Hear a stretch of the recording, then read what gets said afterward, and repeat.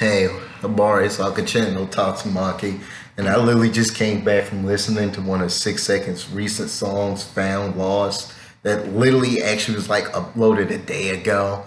I mean, uh, if only it actually came in my uh, uh, feed, then yeah, I would have actually uh, would have been uh, reviewed it by now. But it literally just popped up in my in my YouTube feed all of a sudden. I just heard it and I just had to tell y'all what I thought about it. Kakata Uh, hmm.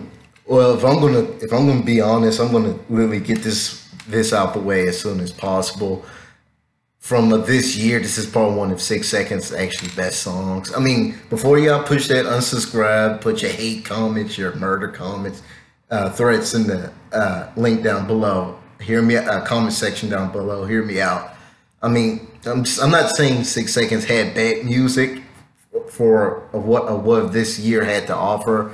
I mean, I did like most of his uh, his uh, current disses with uh, him paired with um, Dante against uh, uh, Pewdie, uh, uh, uh, uh. I mean, those they were good. They were entertaining. I liked them, but they were good songs. They, and there were swell disses. But in all honesty, if I'm going to be frank, if I'm going to be frank about it, if I'm going to be frank about it, I actually didn't care for most of his. Uh, well, I wouldn't say care, and I. Hmm, how am I supposed to put this?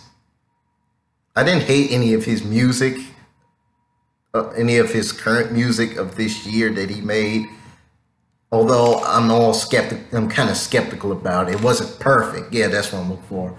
I didn't hate his music of this year. I actually enjoyed most of them. I was actually enjoying entertainment with them. I actually like most of his music this year, but they weren't as perfect as Found and Lost, the one I just heard now. Um, you know, in the song he was talking about, you know, what he's going through, and you know, the typical I'm top MC, I'm on the top, fuck y'all, you know, typical, you know, uh, self righteous rap concept going on. Um, shit. Uh, well, yeah, that's more or less what the song was Six Seconds is lyrical, is, is lyrically impressive like always. Although in this song he was kind of he had this trap like flow to it, but it wasn't bad. It was still good. I'm nearly only seeing this only probably just from my own uh, opinion about uh, trap music. I, I don't technically like trap music, although I I don't technically like trap music but I did get accustomed to it, and I don't, I don't, I don't utterly think they're all terrible. It's just not my favorite genre of hip hop.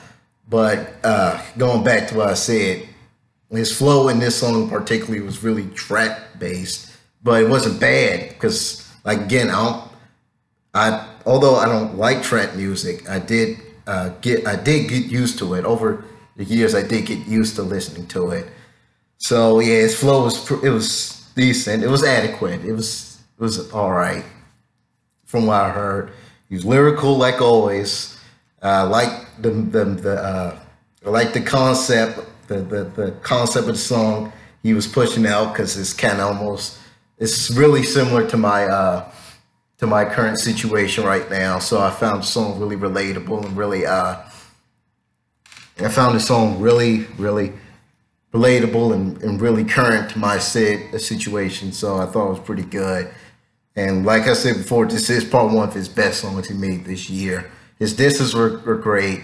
And Lil Baby Beerus, I'm here and there with. I'm skeptical. It was it wasn't terrible, but it's not his best uh, uh, five to four song mixtape, if I, if I do believe.